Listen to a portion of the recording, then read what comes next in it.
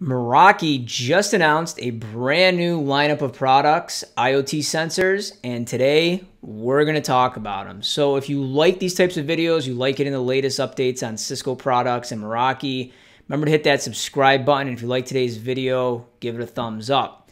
So on today's episode, guys, we're going to go in. I'm going to talk about the three new sensors that Meraki just released. There's a water sensor, there's a door open and close sensor, and then there's a temperature and humidity sensor.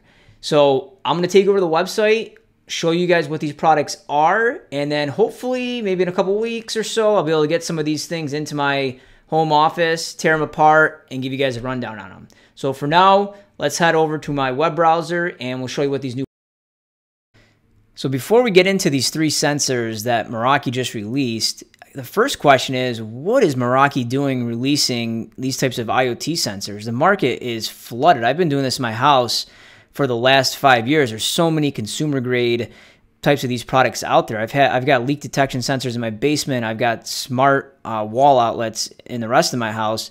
And I think the answer to that is yeah, the market is flooded on the consumer side, but on the enterprise side, there really isn't anything you know, if you tried to bring these consumer grade products into the enterprise, I think they'd fail, miserably. Think about how we have to do it today inside of our own houses. You buy one of these smart plugs or water leak detection sensors. You either walk up to the device, you hold down a button, it flashes some sort of SSID, you jump on it, then you program it using their application, then you get back off, and then you got to go do that for every single one of these types of devices that are out there. And yeah, that's fine for your house and maybe you own a cottage or something like that. But for managing 20 different locations with those types of sensors is going to be miserable. And I don't even know if you if that's possible on some of these consumer grade products like that. There's not really going to be a good dashboard for you to go in, look at all your different locations, all your different sites and see what's going on. You know, the other way is too, a lot of these products need their own special gateways and they're using protocols like Zigbee out that are out there and they're just difficult and they're never really meant for the enterprise. And I think Meraki is the first company that's come along here to make this super simple and easy to deploy. Now, all these sensors actually work off of BLE, so that's your Bluetooth Low Energy, and they use existing Meraki cameras or existing Meraki access points. And I'll show you guys the compatibility here in a second on which ones are supported here but you don't need to put in a special gateway or anything else like that. You don't need to go out to every single one of these sites and hold down a button and let it flash some sort of weird SSID that are out there. You can literally deploy these sensors out, drop them in. They're going to start talking to the gateway. You claim them just like any other device out there with Meraki, and they start working. And you can manage them and monitor them right from the same Meraki dashboard that you're used to. So with that, let's go over some of the different sensors that Meraki put together. So first up on the list is the Meraki MT20. Let's go ahead and click on it and we'll zoom in on this. So this is going to be a two-part sensor. We've got the bigger portion on the left and then the smaller one on the right. And basically what we're going to do is we're going to attach the bigger portion to where the door jamb is, the molding, or maybe just off to the side of that. And then we've got the smaller part there that sticks on the actual door that does the swinging open and closing. Uh, they work by magnets, so we know when the magnets kind of come closer together that the door is shut. And then when it swings open, that means that the door is obviously open. So we, we know that. You'll get an alert in your dashboard that the door was open or the door was closed. Now this works off of a AA battery. So you throw a AA battery in here, Meraki gives you the batteries, and supposedly they last for five years. And if it does end up getting a little bit low, you'll get an alert inside your dashboard that the batteries are low. So I'm going to go in there, pop off the battery cover, and throw a new battery in there.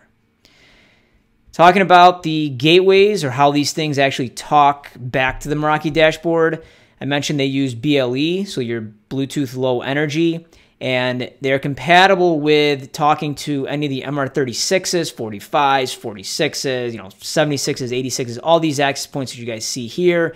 And if you have a camera nearby, they could even talk to those cameras. So it could talk to an MV12, a 32, a 22, and a 72. You can place these anywhere. If you've got an area where you want to make sure people aren't uh, coming in, or you just want to see who's coming in and coming out throughout a day, you can do that. You can put a camera up there to actually capture the person's picture as they open the door. You can use these things on server racks. You want to make sure that server racks are staying closed. Well, when was the last time it was open? And you can get alerts on that that someone's actually opening it right now. So really you could put these types of sensors on any door that's out there. Next up on the list is going to be the MT12. I'm just going in order here from the web page. And if we click in and we zoom on the MT12, this is a water leak detection sensor.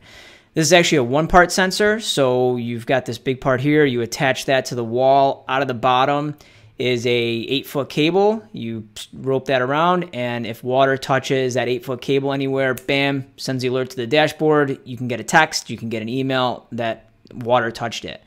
This works off of, again, AA batteries that Meraki provides, five year lifespan on the batteries, and you can actually get an optional wall power adapter and plug this thing in if you wanted to. You could put this thing anywhere that you've had issues with water before. You might want to put it underneath the sink, you might want to put it in your data center. That way, if water gets on the floor, you're alerted. If water gets on the top of one of your data center racks, if something's leaking from the ceiling, you get alerts there as well. This thing is going to work off of, again, BLE. And in order to get back to the dashboard, is going to use the MR36 as the same Meraki access points we talked about with the MT20. And then same thing goes for the cameras. You can use the 12, the 32, the 22, or the 72 as that BLE gateway to get back to the dashboard. So with that, let's get over to the last one. So last on our list here is the MT10 for now. I'm excited to see where this product line goes and if Meraki decides to release any other products for this. Uh, but the MT10 is a temperature and humidity type sensor. So I'll zoom in on it just so we can get a better look on it.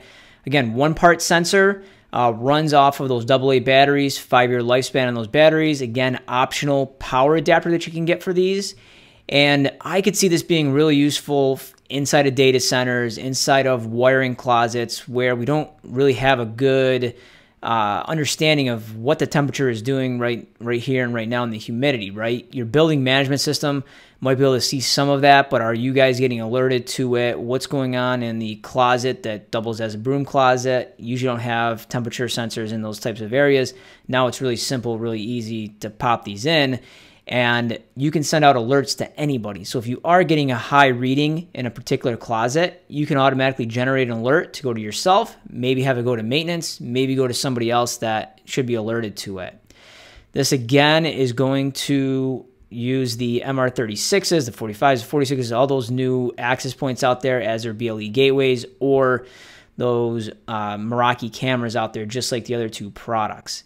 So there you have it. Those are the brand new Meraki MT sensors. Really curious to see where this product line ends up going. I think these things are phenomenal. I think it's really a needed product in a lot of organizations that are out there because there really wasn't a good system out there like this before.